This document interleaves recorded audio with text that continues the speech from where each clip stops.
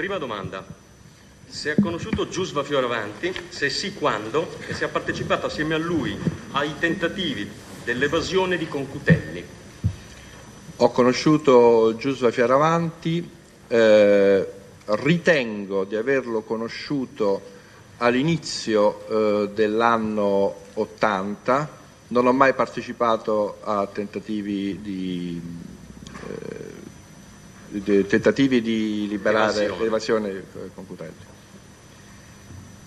Ho- eh, quando ha conosciuto, scusi, eh, esattamente il Giu- Giusva No- Fioravanti? non posso avere la data esatta, ma una ricostruzione che ho fatto in questi giorni porterebbe a pensare che si parli o degli ultimi giorni di, di dicembre o dei primi giorni di gennaio. Infatti è coerente proprio con quello che ha confermato pochi mesi fa Giusva Fioravanti qui dinanzi alla Corte d'Assise di Bologna. Però aggiunse che in quel momento, cioè alla fine di dicembre 79, come lei sta confermando, aggiunse che si incontrò con lei in un luogo dove non ricordo e quest'ultimo mi chiese di incontrarmi con un camerata siciliano che, si de- che desiderava parlarmi. Fissai l'appuntamento per qualche giorno dopo, quindi siamo sempre verso la fine di dicembre, a Piazza del Popolo a Roma e se mal non ricordo il siciliano era accompagnato dal fiore. Trattavasi di Francesco Mangiameli, del quale feci la conoscenza in quell'occasione. Egli mi chiarì che stava occupandosi dell'evasione del suo amico Pierluigi Concutelli e mi chiese di andare a Palermo per effettuare un sopralluogo al fine di concretare l'operazione. Quindi Presidente, Giusva- ma chiedo scusa, ma gli stiamo contestando il verbale di un altro? No, io, perché... io sto semplicemente... Sì, allora, eh, rimoduliamo, rimoduliamo diversamente, rimoduliamo diversamente le domande. L'ho detto Sì, anche prima in allora, occasione. Giusva Fioravanti ha invece detto che in quel periodo, quando vi siete conosciuti, lei gli presentò Mangiameli per far evadere Concutelli, per organizzare l'evasione di Concutelli. Ora che le ho, ricord- le ho ricordato questo passaggio di Giusva Fioravanti, lei a proposito dell'evasione di Concutelli può precisare meglio? Eh, signor Avvocato, lei stava omettendo il fatto che eh, Fioravanti dice che quando ci fu la conversazione io mi allontanai. Bene, però ha detto che lo mise in rapporto con Mangiameli per organizzare E che l'evasione mi di allontanai Concutelli. quando ci fu la conversazione. Va bene, ne prendo atto. Ha conosciuto anche Rosaria Amico, la moglie di Mangiameli, e le chiedo se, se sì, se fosse una militante politica anch'ella. No, era la moglie di Mangiameli, non, non era militante, non direi che fosse militante. Ora, Mangiameli invece lo ha conosciuto, giusto? Certo. Ed era un militante politico di terza posizione. Certo. Penso che sia pacifico. Quando lo ha conosciuto? Difficile dirlo, potrei sbagliare non solo il mese ma anche l'anno.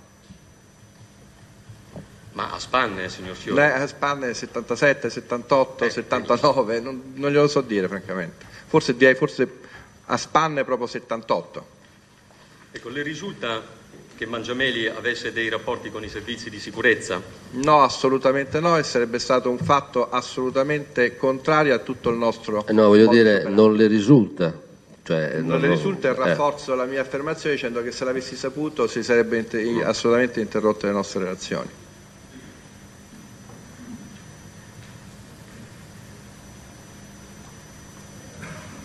Le risulta che il Mangiameli nel luglio dell'80 avesse ricevuto l'incarico da Stefano Delle Chiaie di unificare i quattro gruppi dei NAR romani, facendoli confluire in terza posizione? È assolutamente falso. Non solo non mi risulta, ma questo è assolutamente falso. Le risulta anche che Mangiameli avesse ricevuto degli, degli ingenti finanziamenti dal predetto Stefano Delle Chiaie, onde reperire armi ed esplosivo ad ogni costo acquistandoli senza limiti di prezzo? È assolutamente falso. Se, se il Presidente vuole aggiungo una nota che Sì, può- sì. Ma eh, vorrei che il, il signor giudice mh, apprezzasse il fatto che la nostra storia, la storia di terza posizione, è una storia antitetica a tutti gli altri movimenti e organizzazioni, eh, come Avanguardia Nazionale, Ordine Nuovo. Per antitetica non intendo eh, quantomeno lontana da tutte queste strutture e qualsiasi collegamento con questa organizzazione veniva visto con sospetto. Figurarsi dei servizi segreti che noi abbiamo visto assolutamente sempre eh, lontani e antitetici a noi e poi si vedrà con il fatto per cui sono parte lesa che così si sono dimostrati. Senta, ha conosciuto lo, il colonnello Amos Spiazzi in quel periodo, cioè negli Ass- 80 a Roma? Assolutamente no. Eh, posso precisare che eh, quando eh, il, il signor Spiazzi va a- al processo di terza posizione e descrive il sottoscritto e descrive anche Francesco Mangiameli, incappa in una serie di errori drammatici, quali la mia altezza, la corporatura di Mangiameli, l'accento di Mangiameli, pertanto tutta la sua deposizione non solamente è falsa, ma può essere assolutamente figurata in un'operazione anch'essa dei servizi segreti per attaccare terza Eh, posizione. mi scusi, questo risulta nelle sentenze di terza posizione? Allora, risulta negli interrogatori, forse Scusi Presidente se mi intrometto, dunque l'interrogatorio avvenne Figlia da Mangiameli? No- non posso dire eh, molte delle domande, potrei rispondere confusamente sì, ma eh, rischierei di fare un errore, direi non, devo, sono costretto a dire non mi ricordo. Senta, se le cito un passaggio del verbale della Rosaria Amico davanti ai PM di Roma, Summa e Guardata, 16 settembre dell'80, che è agli atti del fascicolo della strage. Verso i primi di luglio venne a Palermo Robertino Fiore e mio marito andò con lui a Catania partendo e tornando nella stessa giornata. Le No, le non lo- ricorda questo passaggio a Catania? No, mi spiace. Ora, lei ricorda sempre nel luglio dell'80 se Giusva Fioravanti e Francesca Mambro furono ospitati a casa del Mangiameli a- in Sicilia a Tre Fontane? No, non mi ricordo.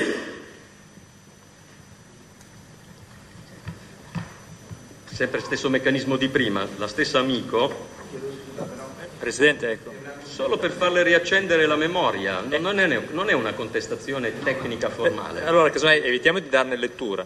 Diciamo, possiamo eventualmente fare riferimento alla Allora, voce di eh, qualcun prima altro di, che- non iniziamo la domanda dicendo Tizio ha detto che, perché effettivamente il test non può rispondere, eh, al test non possono essere formulate contestazioni su cose che hanno detto da, da altri. Possiamo chiedere dei riscontri su quello che hanno detto altri. Lei si, eh, si può mettere a sedere, non c'è, non c'è problema. D'accordo, signor Presidente? Ecco, quindi eh, inizi le domande in un altro modo.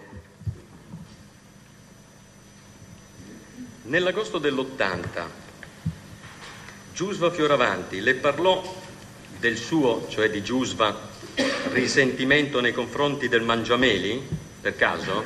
Cioè, lei seppe di un risentimento di Giusva nei confronti di Mangiameli? Mi sta chiedendo due cose. Escludo di aver incontrato eh, Fioravanti eh, in quel periodo. Eh, in realtà mi sembra che risulti abbastanza pacifico e io penso di poter confermare di averlo incontrato solo quella volta di cui ha parlato prima. Non, certamente non ho parlato mai con, con Fioravanti di Mangiameli e sicuramente non nel periodo di agosto, quindi direi no. E nei giorni immediatamente successivi all'omicidio, all'omicidio Mangiameli, che è del 9 di settembre dell'80, che come forse ricorderà, lei incontrò a Roma la signora Rosaria Amico, cioè la moglie di Mangiameli?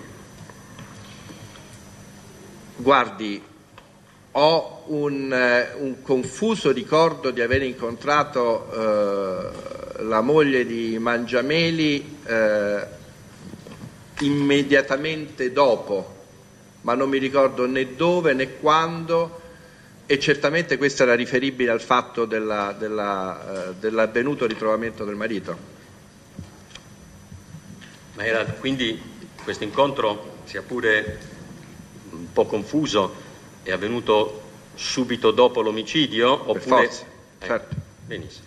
E espresse delle, delle sue opinioni alla moglie sul- in merito all'omicidio di Mangiameli? Delle mie opinioni non penso di aver espresso nessuna opinione perché non penso che fosse il momento di esprimere opinioni e oltretutto in quel momento probabilmente non ne avevo. Non, non fece per caso riferimento esplicito a Giusva Fioravanti come il killer Non- del marito? Non, non posso, non posso né escluderlo né confermarlo. Ecco, ma in quel periodo con Giusva Fioravanti, cioè i, i primi di settembre dell'80, subito dopo l'omicidio di Mangiameli, Lei in che rapporti era? Eh, in, in, diciamo, in nessun rapporto, nel senso che io non, non incontrai mai eh, Fioravanti. Eh, chiaramente ci, furono, ci, sono dei comunicati eh, che mi sembra furono emessi attorno a, a settembre in cui si, si, è chiarissimo che Fioravanti mira all'eliminazione eh, del sottoscritto e di altre persone rivendicando l'omicidio Mangiameli. Ecco, ma lei come se lo è spiegato questo atteggiamento di Giusva così violento nei suoi confronti? Guardi, questa è una domanda che penso che possa essere anche la, eh, riassumere la mia risposta anche la domanda che penso che mi avrebbe fatto, cioè lei sa il motivo dell'eliminazione di Mangiameli o, e, e, lei aggiunge so il motivo della, di questo odio nei miei confronti? La risposta, l'unica risposta, e penso che lei capirà che io sono, voglio fare una brevissima premessa, io sono una persona eh, che ha avuto non certo dei benefici da quello che avvenne in quel periodo e sono parte lesa in questo processo. Non so se è noto a voi avvocati che io sono parte lesa del depistaggio, che è un dato penso importante, sono sicuro che il signor giudice lo saprà, però è bene che lo sappia anche la stampa che è presente. Io sono parte lesa per il depistaggio eh, fatto da Musumeci, Belmonte, Pazienza e Gelli. Questo nel quadro. Chiaramente in, da, da, Bologna iniziano tutte le mie vicissitudini eh, eh, diciamo, eh, di, di, di, di, fuga, fuga, dall'Italia, eccetera, eccetera.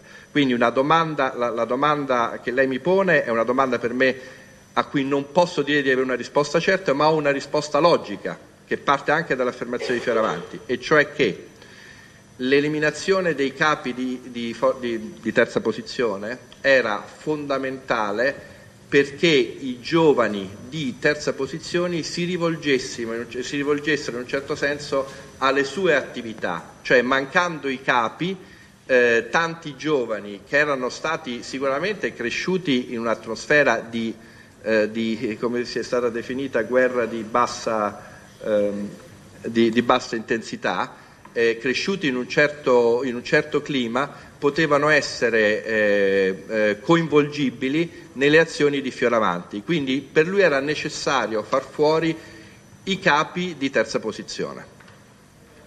Bene, sapeva anche che Giusva Fioravanti in quel momento volesse uccidere anche Massimiliano Facchini? Questo non lo, non lo ricordo. Vuole tratteggiare per un attimo la figura di Facchini e se lei ebbe rapporti in quel periodo con eh, Massimiliano Facchini. Guardi, conobbi Facchini e vorrei che eh, lei apprezzasse il fatto che tu, tanti di questi personaggi furono da me conosciuti per un motivo politico, nel senso io ho sempre fatto politica dall'età di 14 anni. Certo, era un periodo particolare, però anche il mio iato londinese, io faccio politica, come oggi faccio politica, quindi io conobbi Facchini in un ambito politico. Lui era, eh, se non erro, lui era uno dei capi di Costruiamo l'Azione e ci fu un tentativo legittimo da parte sua e di altri esponenti di Costruiamo l'Azione di unirsi a terza posizione, ma noi eh, decidemmo che non era assolutamente il caso per una serie di motivi ideologici, ma anche, come possiamo dire, di, eh, eh di età d'esprit attorno a, queste, a questi leader di, di, di quest'altra organizzazione. Ma vi siete visti materialmente? Beh, certo, sì, sì, certo. Più volte? Boh, una volta sicuramente, già due non sarei certissimo. Ora passiamo ad un altro tema, e cioè Leonardo Giovagnini e Radio Mantacas di Osimo. Innanzitutto, se ha conosciuto Leonardo Giovagnini e l'emittente radiofonica, appunto, Radio Mantacas di Osimo. Sì. Prego. No, sì, l'ho conosciuto. Ecco, de- descriva le circostanze, quando esattamente. Ma questa perché... è tutta. Io mi, non mi avvalgo da rispondere che è tutta terza posizione questa, però va bene. No, no, però mh, la facoltà di non rispondere riguarda la natura di. Mh, eh, associazione sovversiva o armata di terza posizione. Depurata da questo aspetto, Vabbè, quello sì, che sì, riguarda no, non, non, no, intendo rispondere. Sì, sì. Eh, Radio Mantaca sarà una radio d'ambiente che a un certo momento entra in terza posizione. eh, Giovagnini entra in terza posizione, anche lui, per il momento, ecco, diciamo questo, poi non so se mi fare altre domande. Eh, scusi, radio d'ambiente cosa vuol dire? Era una radio, diciamo, che era per un periodo fra il movimento sociale e eh, probabilmente qualche altro gruppo, ma a un certo momento la radio passa proprio con terza posizione. Ok. Ma questo perché, signor Fiore, lei voleva una sponda nelle Marche, ad Osimo in particolare, per, la, per il suo movimento politico, è corretto? Certo, no, non precisamente a Osimo, ma nel senso la trovo ad Nelle Osimo, Marche. certo, sì, sì. Quindi Giovannini era l'animatore di questa radio. Sì. Lei è stato ad Osimo, a Radio Mantacas? Sì. Vi ha conosciuto de- dei soggetti che vi gravitavano? Oltre a, a Giovannini, naturalmente? No, io mi, ricor- mi ricordo di eh, Osimo e, e- e di quella situazione Giovagnini, la moglie, ma non di più. Mi dica dove vuole arrivare. Voglio dire, Giovannini è un militante politico di terza posizione oramai, In perché quel- viene sì. da lei cooptato. Oltre a Giovannini, ci sono altri No, militanti mi ricordi, ad no. Osimo di terza posizione Che che, ricordi. gironzolano attorno alla radio Mantacas? Non posso ricordarmi, ma, che- ma non mi ricordo nessuno. Dopodiché lei nel- nell'agosto settembre dell'80, perché mi pare di capire che abbia conosciuto Giovannini prima della- del luglio Certo, agosto si parla del 80. 79, mi Eh, sembra. perfetto. Nel ge- gennaio, giusto? No, non lo so. Non lo so. Comunque i primi, di- i primi di- del 79, è corretto, grosso modo? Non, non voglio confermare, non posso confermare. Vabbè, comunque ha detto 79. Ora, nel- nell'agosto-settembre dell'80 ha chiesto al Giovannini di nascondere Ciavardini nelle Marche, vicino Osimo, da qualche parte lì vicino? Non mi ricordo. Non lo esclude. No, diciamo non mi ricordo di... Se una, certo, una cosa se non la si ricorda eh, non, non la si può escludere nemmeno negativamente, però diciamo non posso dire assolutamente nulla con certezza. Senta, allora, con Ciavardini invece, in quei, in quei- in quei mesi, in quei primi sei mesi dell'80, che rapporti aveva? Lo conosceva? Se sì, perché? Era un militante politico? Era un militante diciassettenne di eh, terza posizione che rimase eh, coinvolto nel eh, gravissimo episodio del, eh, del Giulio Cesare e pur tenendo eh, il nostro movimento, io le ricordo che eravamo tutti ragazzi di 21 anni, quindi non c'erano come oggi i- le- le, diciamo, gli strumenti di formazione necessari, cioè indispensabili per dare un'idea del movimento, ma il movimento si mostrò immediatamente, eh, come posso dire, colpito da quell'episodio, tant'è che il mio collega eh, capo di eh, terza posizione, eh, Gabriele Adinolfi, andò a trovare uno dei poliziotti feriti, proprio perché noi non ci riconoscevamo assolutamente in questo episodio. Detto questo, quando sapemmo del fatto che eh, Ciavardini era stato coinvolto, per spirito, eh, certo non paterno perché io avevo 20 anni e lui era 17 o 16 in quel momento, però diciamo per spirito di cameratismo io mi offrì di aiutarlo e fare in modo che potesse eh, in un certo senso eh, sfuggire a, alla- alla- a- a quello che lo stava in un certo senso eh, aspettando.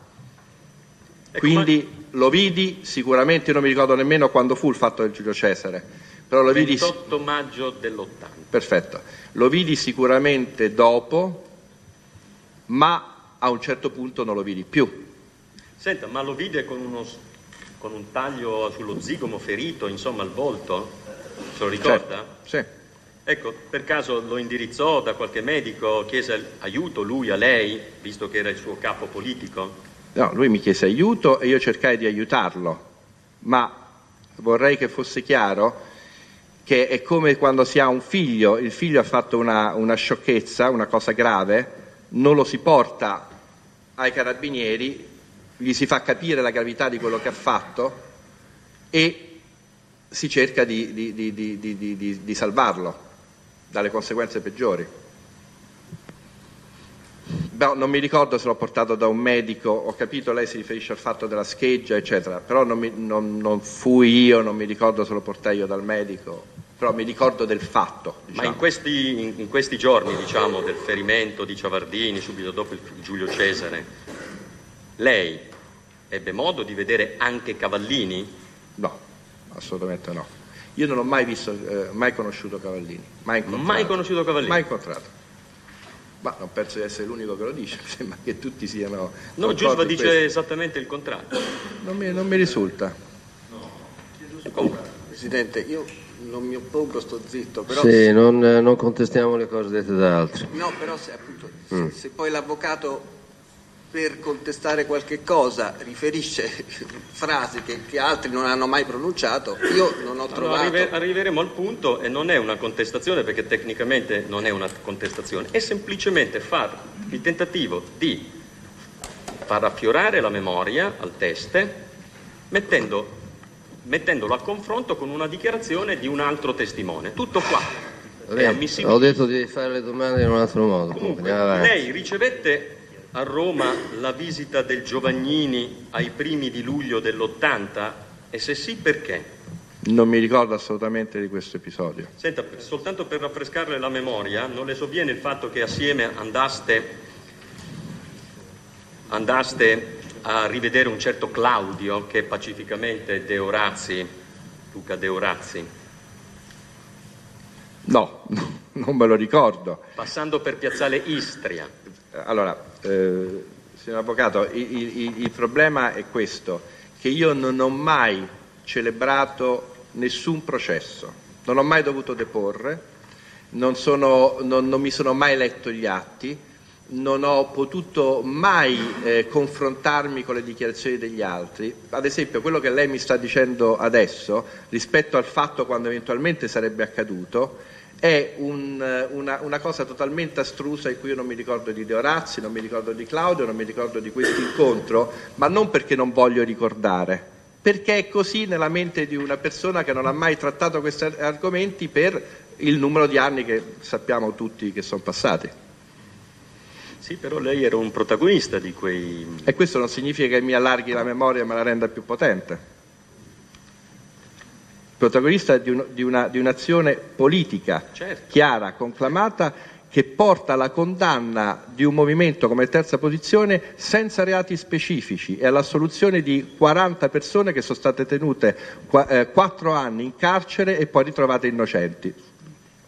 Quindi lei non disse mai a Giovagnini che il movimento a Roma era diventato molto forte, cioè terza posizione era diventato molto forte che in sostanza perseguiva finalità eversive. Ah, eversive non avrei mai utilizzato questo termine, non avrei utilizzato mai eversive, mai sovversive, forse avrei utilizzato rivoluzionarie, che è un altro discorso. Io sto molto attento alle parole. L'eversione è un fatto interno allo Stato. Io non sono mai stato interno a questo Stato. Sovversivo ha una precisa connotazione eh, marxista, perché proprio nel, nel, nello stesso articolo c'è la lotta di classe in una dei, delle cose, quindi io non avrei mai utilizzato questi termini e questo denota la falsità di, questi, di queste asserzioni.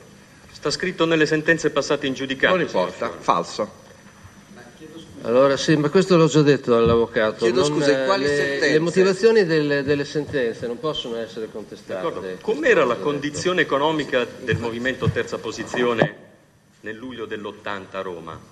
Io gli posso dire qual è stata la mia condizione economica nel momento in cui sono entrato in latitanza.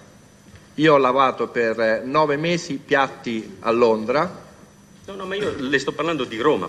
Poi lei sta, sta facendo un passo in avanti. Zero soldi. Io le sto parlando di Roma un attimo prima che lei fugge zero soldi. a Londra. Zero soldi. No, a Roma. Sì, ma a Roma no, qual era noi non avevamo soldi, di... noi lasciamo un conto mai pagato al povero tipografo gentile che adesso è passato a miglior vita di non so quanti milioni perché non potevamo nemmeno pagare il giornale. Noi non avevamo una lira E se ben va a vedere, anche quello che dice Fioravanti a proposito della famosa cassa di 60 milioni viene smentito, ed è agli atti che viene smentito, e ci sono condanne per diffamazione per questo motivo. Quindi nemmeno autofinanziamento attraverso le rapine? Ma di che? No, voglio dire, no, e, e, le ricordo che nel processo di terza posizione non ci sono rapine commesse nell'ambito dell'azione di, forza, di, di terza posizione.